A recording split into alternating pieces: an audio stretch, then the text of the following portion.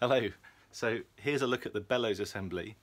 Making bellows is not easy, it has to be said. Um, however, I did find a fairly simple design that I followed online that doesn't require any clever mathematics or you know jiggery pokery in the corners here. Um, and I managed it, you know, so I think anybody probably can if, if that's the case. This is black canvas um, I purchased from eBay and inside you've got these thick cardboard stiffeners which help to give it its shape. Um, I would say, however, that the canvas is quite stiff and it does mean that the, there's not a huge amount of flexibility in these bellows.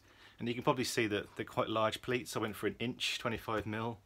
Um, I thought for the design that I was making, I didn't need a huge range of movement, so that was sufficient. And it also made it slightly easier to make, it's not quite so fiddly. If I was to make it again, I think I would use a thinner, more supple material and probably go for smaller pleats. I might use the three pass blackout curtain material. It's thinner, it's lighter, it's more supple, and it's light proof. Um, and it would just be a little bit more flexible, I think, in terms of range of movements. However, having said that, this works just fine.